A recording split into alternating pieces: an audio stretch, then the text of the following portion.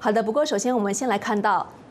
美中之间的气球大战现在是越演越烈了。美军在过去十天来连续击落多个入侵的高空气球和不明飞行物体。中共外交部发言人汪文斌反过来指责美方的气球非法进入别国领空，也是司空见惯，声称从去年以来，美方的高空气球未经中国相关部门批准，已经有十多次非法。飞越中国的领空，白宫国安会发言人约翰科比则是断然否认中方的指控。与此同时，根据英国《金融时报》的报道，有多达数十个解放军的气球在近年飘入了台湾的空域，平均每个月一次。而随着气球一个接一个的出现，原本趋于和缓的美中关系，现在也出现了大逆转。那么，中国国家主席习近平对这些打乱美中关系的气球，是否有事先掌握信息？在他高度集权之下的中共各个部门，究竟是如何进行危机处理？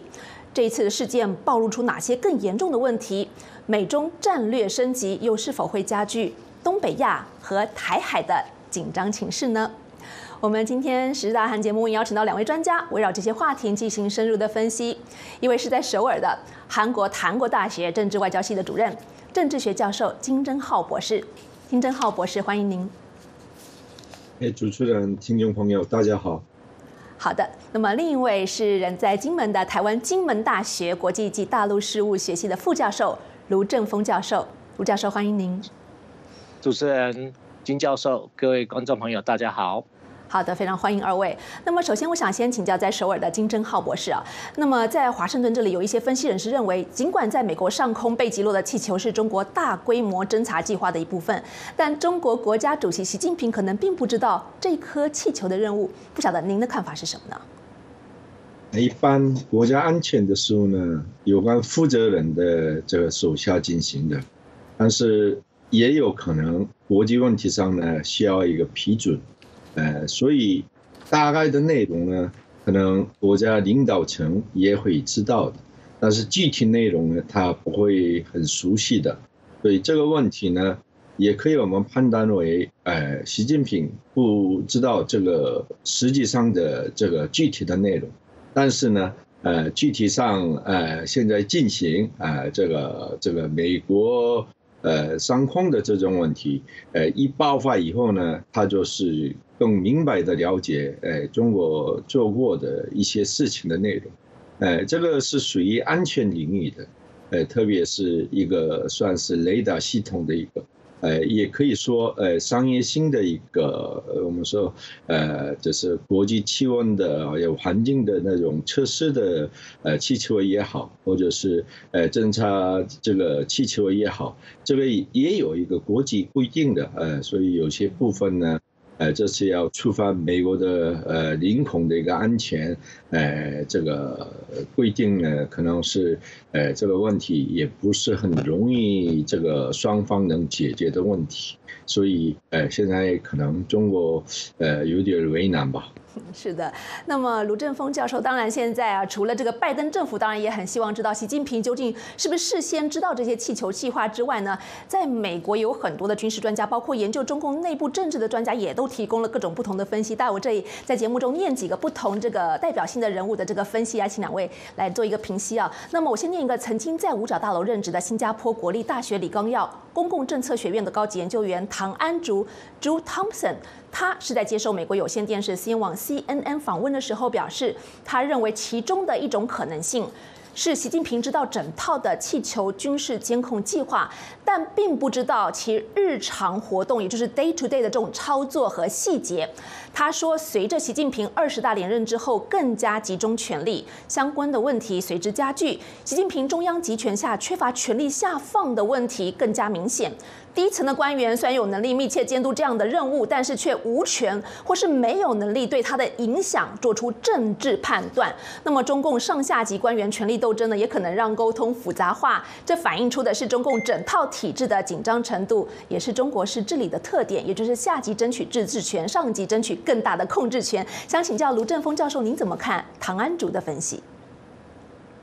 基本上，唐安竹有在五角大厦服务过，是。那他现在正在新加坡担任访问学者。事实上，他在两个月前也曾经到金门来跟我们座谈。哦，是吧？那基本上，我认为说，习近平已经执政十年，哈，掌权有十年的时间，同时他对于解放军的这个掌控，其实也已经从二十大的人事布局里面，虽然出现了还有一位七十二岁的张六侠在中央军委会，但是事实上从过去的这，尤其最近二十大的前两三年来，习近平差不多每半年就有一次晋升上将、大将的这样的一个一一个安排，哦，所以他我觉得他对解放军的整个军事改革，甚至人事的这个部署，其实他都有深切的掌握。嗯，那这个唐安竹做这样的分析，基本上我觉得他也是在释放一个讯息，就是说。让美中的高层之间哦，还保留了一个可以在见面缓冲的一个机会，所以，我们民间的学者或者是曾经在政府部门有服务过的这些学者，释出这样的一个讯息，基本上我认为这还是让美中关系还有一个下一个阶段，可以让拜登跟习近平也许在通话，也许在一个呃。外交部长或者是这个国务卿会面的机会，哈，或者是这个杨杰那个王毅跟布林肯在这个慕尼黑会议的这个场合里面，进一步去沟通双方的这个高层的互动。尤其今年是美国这个主办 APEC，习近平其实是在十一月的时候有机会到旧金山，甚至到美国的这个本土来进行访问的可能。所以这个气球的这个，我觉得这应该可以称为是一个风波哦。这个风波应该在过一阵子，经过双方的这个表面上是针锋相对，但是私底下应该是整个外交以及高层的这个人事的沟通还持续在进行。嗯，的确，这个气球风波还在持续。不过，接下来金正浩博士，我整理了两个，也是比较具有代表性的，一个是从军事的角度，一个是从外交和情报的角度来分析，究竟习近平是否事先知情哦？这个汉和防务评论杂志的创办人兼总编辑，也是中共的军事专家平可夫，在脸书上贴文指出哦，他说他认为习近平大半的时间都在军委办公，是控制了一切，没有人敢下任何决定，所谓的国安委根本不起作用。你说他知不知情呢？涉及美国台。台湾问题，一切只有习近平才能决定，其他的人都是跑腿的，这是平可夫的说法。另外，前美国国务卿 Pompeo 他在接受福斯电视台 Fox 访问的时候呢，他则是认为说，他说他跟习近平本人见过面，他认为他是在国务卿任内他接触过最棘手也是最邪恶的领导人啊。Pompeo 说，他说他认为非常明显的，现在习近平是以各种方式。在测试美国的底线。那么金正浩博士一位说，这个习近平不可能不知情的军事专家。另外，庞佩奥认为说，其实习近平以最高领导人的身份在测试美国的底线。你怎么看这两位的说法呢？金正浩对两位都有各的主张，但是这个世界上的证据不好找出来，因为中国这个领导层里头的，呃，就是。呃，命令的一个这个往下走的过程，还有网上八卦的内容里头，哎，我们看那个一个领导可能要做的事情太多了，但是多少有关一个呃与美国的事情呢，可能多少都向上面报告的，但是这个内容呢，实际上一个呃就是。可能现在媒体报道说，一个呃军方支援的一个民间企业就开始开发的一个呃就是气球的那种呃这种战略武器化的一些内容。呃，这个问题我们看一个气球，我们已经使用过很多年了，就是韩国也过去对朝鲜也是也进行过，可能是呃我们这个。中国大陆和周边的这个呃领域里头啊，这是按季节都是使用就呃使用过这些这个政策的，或者是呃我们。呃，传达一些宣传的一个传单等等的内容啊，最近呢都是用在一个呃全球的这个主要的这个环保还有气温问题上都常适用的。但是中国一些呃内容呢，可能是这个有负责人，但是实际上我们还不知道谁是负责这个事情就是进行做下去的。可能这个事情呢不是呃。今年开始已经呃开发到现在，要进行到现在，呃，就是一段时间，起码可能四五年以上的时间吧。呃，但是我们要看为什么这个时间就是才发现出来这个问题呢？呃，是外交阶段里头啊，呃，就是国家之间以安全的理由，嗯，和。是国际规则的问题，以这种方式来呃找一些原因，还有触犯对方的安全，这也是威胁国际安全的一个问题。所以这个可能是以后中美之间，哎美中之间要谈判的最重要的问题。可能这是呃中国呃处在比较劣势的立场。嗯，好的，卢振峰博士其实也有一些评论，我们看到说认为这次的气球风波是。中共的军方、解放军有人给习近平挖的坑。那么我们知道，这过去在胡锦涛任内，还有习近平他刚上任的时候，也的确曾经似乎发生过类似的事件啊。比如说这个二零一一年美国国防部长埃盖茨访华的时候的歼二零事件，还有二零一四年习近平访问印度的时候，突然爆发了这个中印边界冲冲突，当时都认为是军方给他挖的坑啊。不过，中国战略分析智库研究员邓玉文他在美国之音发表了一篇评论文章，他说，从北京内部的决策程序来看呢，间谍气球的主事。方一般是军方的安全部门，那么军方也是习近平控制最严的，在中共狠抓这个政治纪律的背景之下，他说这个很难想象军方具体主持这项工作的人员敢自行其事，给习近平挖坑埋雷啊。不过这篇文章当中，邓岳也提到说，他认为合理的推测，他认为是北京高层，特别是习近平事先的确有可能不知情哎，如果此事通报了他的话啊，或是在他的决定之下做的，就表明他接下来要和美国大干一场。而从北京的反应来看，尽管态度也很强硬，但这是被美国用武力把气球打下来之后的行为所激怒的。他认为具体要采什么报复行为哦，还需要时间的观察。不晓得您怎么看邓玉文先生这篇评论文章的分析呢？挖坑埋雷，基本上基本上挖坑的这种说法，过去在对台湾是不是会对台湾动武？哦，这个其实在过去两三年也都认为说这是军方。可能可以给习近平挖坑的一个做法了，但是基本上我反而认为说，像这样的气球的这种高空的侦察，基本上应该持续有一段时间在进行的。美国这边的讯息也说，在川普政府的时候，其实就已经有发现，而且美国也没有采取行动。拜登政府上来也据说也也有发现过四五次，也之前也没有采取行动。所以我觉得这件事情应该是美方。哦，是不是要主动把它击落，而且决定击落是在这个拜登发表国情咨文之前？是哦，所以基本上是在为他的，我觉得应该是为他的二零二四年的这个连任的竞选，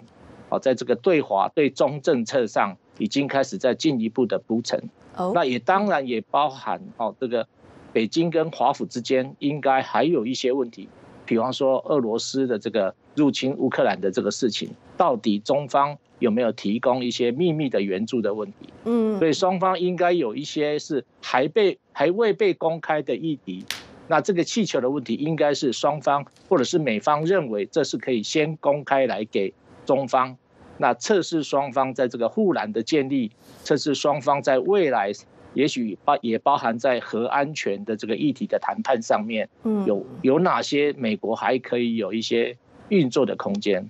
嗯，卢振峰教授的这分析很有意思。除了这个美国内政的因素，还有这个或许这个俄罗斯是不是也牵涉其中啊？这个台面下美中之间的角力，可能还有很多是这个气球风波背后的一些原因。呃，不过我们也来听听看这个网友们怎么说，再来请教二位啊。我们这位网友呃，Reader 他在推特上表示。气球事件凸显的是习近平中共外交政策的混乱，还有中共政府内部的缺乏协调。嗯，这样说法恐怕不见得，因为他认为习近平不太可能事先全部掌握气球气化的这个细节啊。他认为重要的不是这颗流浪气球侵入美国领空，而是要看这个气球风波之后。习近平和中共后续进一步保留行动的权力的强硬和所谓打别人哭自己的流氓外交态度，所以气球事件更可能像是美中军事交流一样，是习近平、中共和军方这种你办事我放心、密切配合的战术伎俩。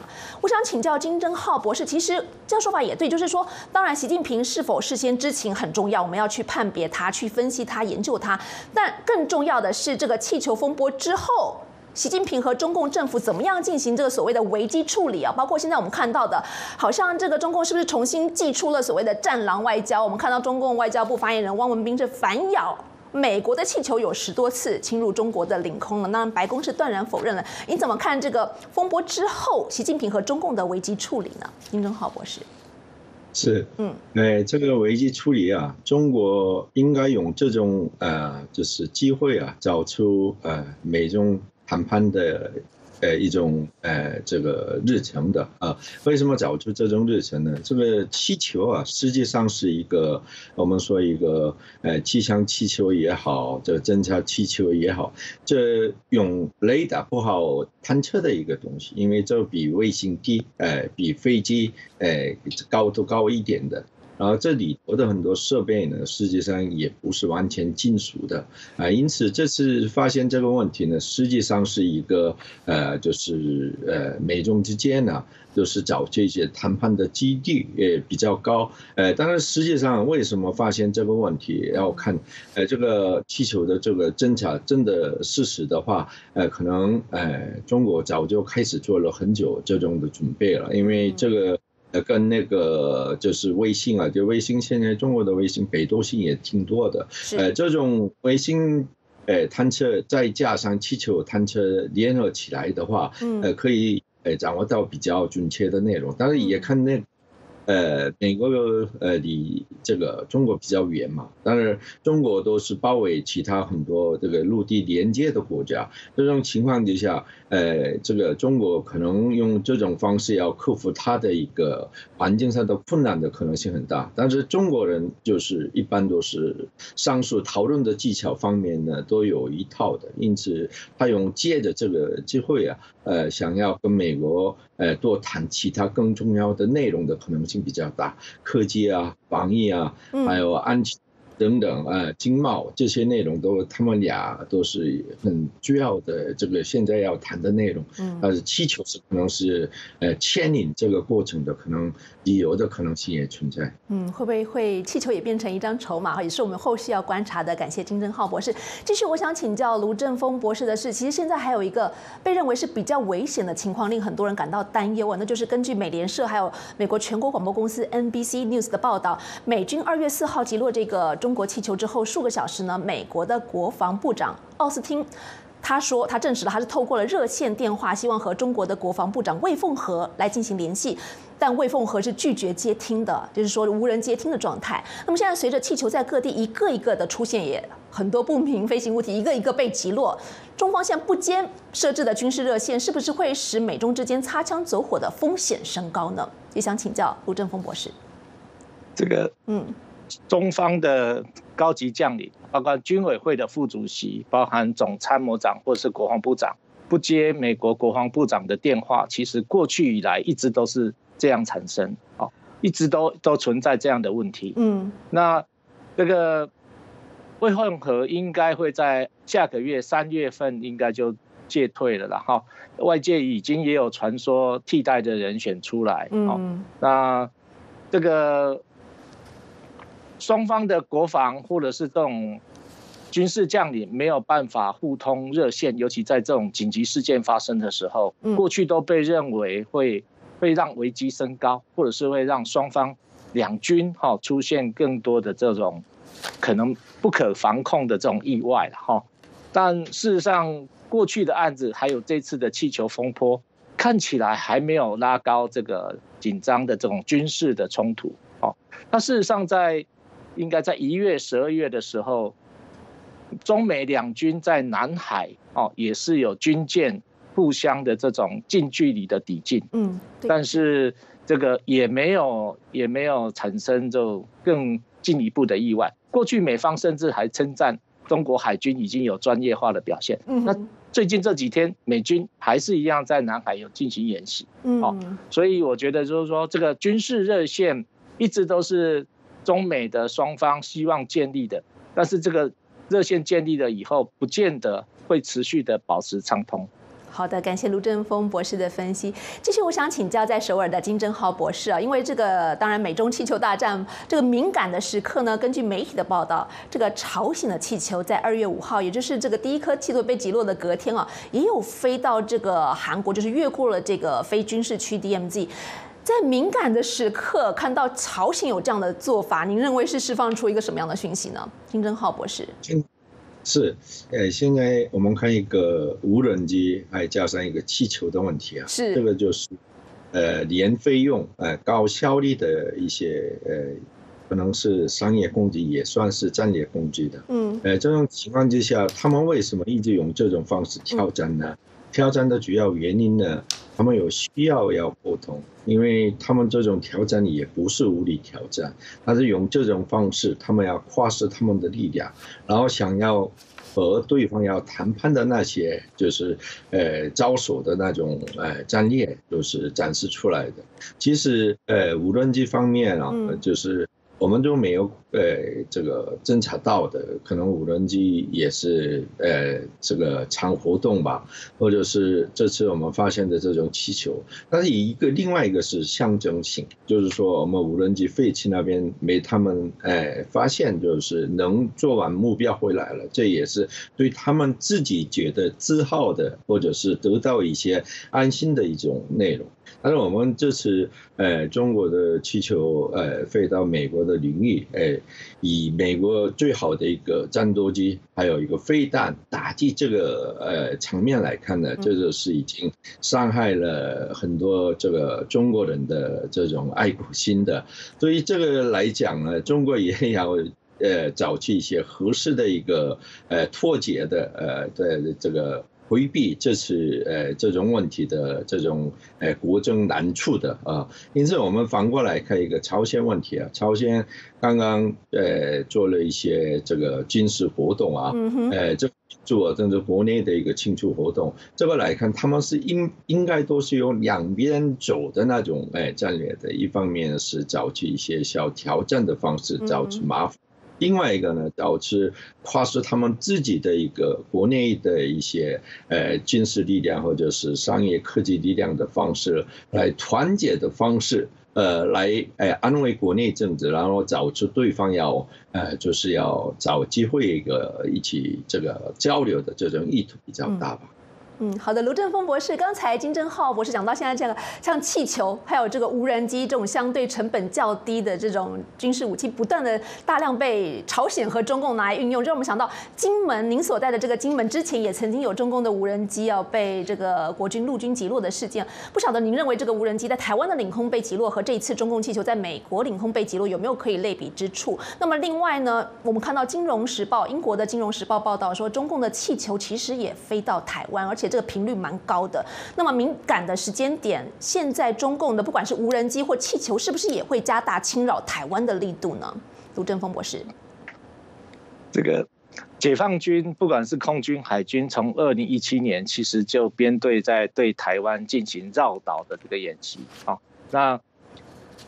仅仅从十二月的二十五号，就是拜登签署这个国防授权法，一直到一月二十五号，一个月期间。台湾的国防部统计，就有四百架的战机，哈，在台湾的飞航的防空识别区里面进进入的穿梭，嗯，哦，所以我认为说，这个用无人机或者是用这种气球，在领空或者是在空空中哈进行这样的侦查或者是勤收。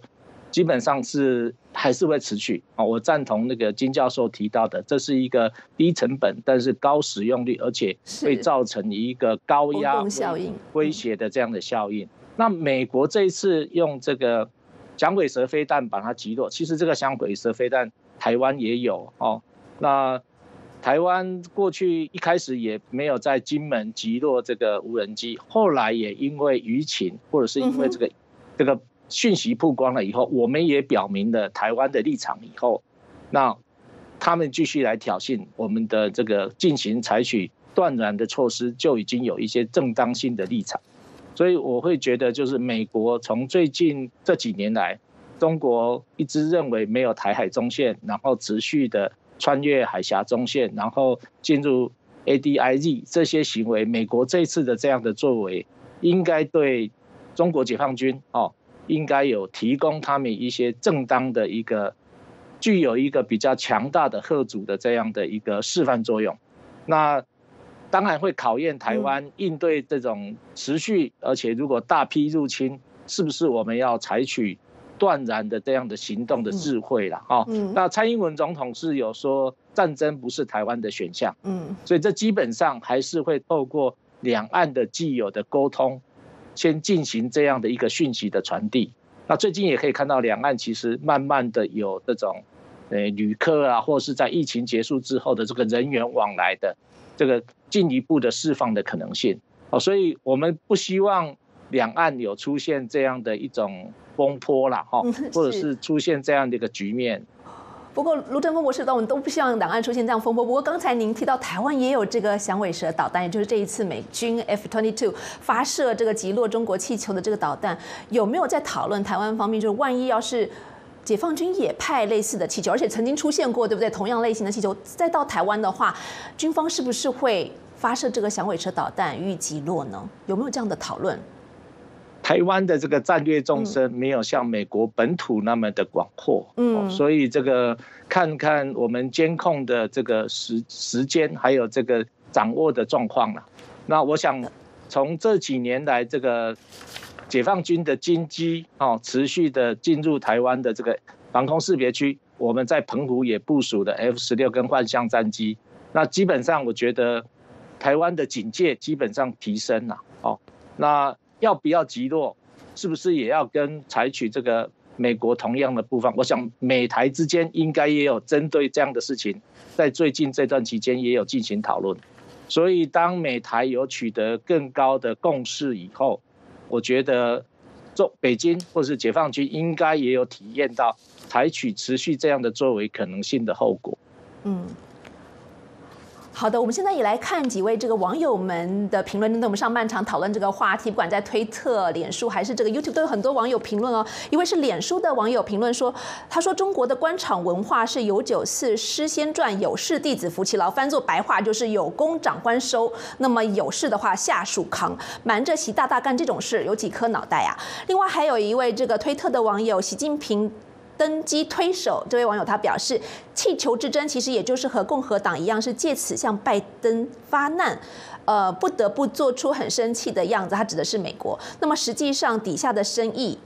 还是丝毫不受影响的，这是这位网友的看法。还有一位这个鱼次郎是我们在 YouTube 现场的网友，他说：“习近平当然知情啊，如果没有他的亲自指挥、亲自下令，在中国谁敢擅自做主张，花大把银子放一大串气球到全世界去流浪呢？他只是在装傻、装无辜，不想承担责任而已。”另外还有一位网友 Pauline 他说：“独裁者怎么可能不知道气球事件？在独裁国家，这样的事情谁敢不报、自作主张？”还要不要命啊？故他一定知道，他认为习近平一定知道气球事件是他亲自指挥、亲自部署的。那么还有一位网友，他提到说，韩国现在的位置啊，恐怕风险也很大，但是希望不要引火。这是这位网友且徐行他的看法。提到了这个韩国，下一个问题想请教金正浩博士，究竟这一次美中？气球大战的这个后续影响会不会对整个东北亚局势，像这位网友担心的和半岛局势发生一些不利的影响？现在我们看到，好像美中战略升级，看似战略升级哦，对于这么接下来的，不管是半岛之间、南北韩之间，或是两岸的台海之间，是不是也会加剧紧张情势呢？想请教您的分析。是我们看一个国际战略里头的，现在美国的印太战略，嗯，还有中国的一个往外走的。走出去战略之间呢，实际上，呃，相通的，呃，这种环境，呃，处在这种环境里头，呃，就是选边站的国家也有，还有中间，呃，就是摇摆的那种，呃，战略的，呃，这个目标为维持的，呃，国家利益的国家都有的。它的这个气球是以这个季节，还有一个。那时候的一个气候来，它要用一个气球的方式要攻击的。但是刚刚我们要看一个无人机这个方面的话，呃，台海很远啊，这个资源用无人机比较困难，而且无人机也是有时可以容易被发现。但是呃，刚刚说的气球的它的一个飞行高度比较高啊，呃，这种情况就像我们看一个日本、韩国。还有我们看一个连接的北边的加拿大，呃，往下走的话，现在气球是往下飞的季节是，呃，不是啊，因这一个其实一个这个呃东亚国家里头的东南亚呢，实际上跟中国保持良好的国家，呃，也有。它那个整个环境来看，我们看气球的一个这个流动的方向，还有它真的要做了怎么样的这个工作，这个我们发现出来以后呢，大家都是可能呃要准备一些一个测试呃气球的，或者是现在韩国也是要加强一个一个侦察一个无人机的一个装备的。其实这个装装备呢，也是中国也是呃这个开发的很多的，然后另外一些土耳其啊。伊朗那种国家都开发的，因此以后的国家安全领域方面呢，呃，一个战略领域里头，也也对这个气球还有无人机啊这个问题方面的防疫措施呢，大家可能是有一些这个信息共有的方式，可能啊就是防疫，呃，这种可能性比较大的，所以这是呃中国做出来的这些。呃，这个层面呢，实际上也反而让一个反对阵营缓解，然后做出一些侦查、一些系统的可能性比较大。嗯。好的，卢振峰博士也是上半场的最后一个问题，请教您给我们总结性的谈一下，这次的美中气球大战究竟会不会连带的去加剧台海的形势？因为刚刚提到说，这个空军也有一些这个气球无人机飞到台湾啊，究竟这个美中现在战略升级，或是这个摩擦系数的增加，会不会使东北亚的这个情势更加的危险复杂呢？很多人认为说，这是不是美中之间的新冷战已难转环了？还有降温的可能性吗？各方下一步该怎么做？卢振峰博士，请教您。基本上用新冷战，哈，这个拜登在上次跟习近平在巴厘岛的峰会里面，其实双方都不愿意走向新冷战，好，那同时这个拜登也有承诺，就是美中方要求的这个四不一一无意的，啊，所以基本上我觉得双方都不希望台海或者是东北亚，甚至是整个南海情势，在今年哦，甚至是明年。有持续攀升的这个可能性，所以基本上我也不认为说，诶这一次的气球风波会让美中的这种战略竞争真的会冲出护栏之外啊。毕竟过去这两年美中都在建立这个战略的这个护栏。对，那战略竞争，北京即使不不接受这样的美国的定位，但是事实上。中国也在跟美国进行各方面的这个竞争哦，包含我觉得包含这个在中国跟东南亚国家，甚至接下来的这个疫情结束之后的一带一路的这个峰会的召开哦，以及习近平还是一样会在世界各国去进行双边元首的外交，甚至他也想要把中美的这个高层外交哦，把它凸显的更更为的这种。壮大他的整个执政的优势，好，那习近平跟拜登基本上他们两个也也很熟识啦，好，那嗯，习近平跟拜登其实过去有六次的会面，那如果按照时间算起来，在未来的一两个月内，他们两个即使不会见面，应该也还会通话，所以对，会通电话或是视讯会议，好，那所以我觉得这个气球风波。在这样的持续的发展下去以后，双方应该会找到一个停损点，嗯，好，然后就会再进入下一个议题的这种攻防，这就是战略竞争的特色。但是它不必然是像过去的冷战时代的这样的美苏的冲突会不断的出现，对。好的，感谢卢振峰博士的分析。我们上半场有关于美中气球大战的话题就先讨论到这里。我们感谢金正浩博士还有卢振峰博士的分析。那么提醒大家，嘉宾在家节目中发表的都是个人观点，不代表美国之音。